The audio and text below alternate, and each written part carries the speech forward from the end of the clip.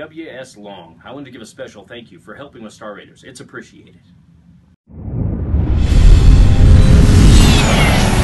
Your donation has helped me make Star Raiders the film I always wanted it to be. Thank you.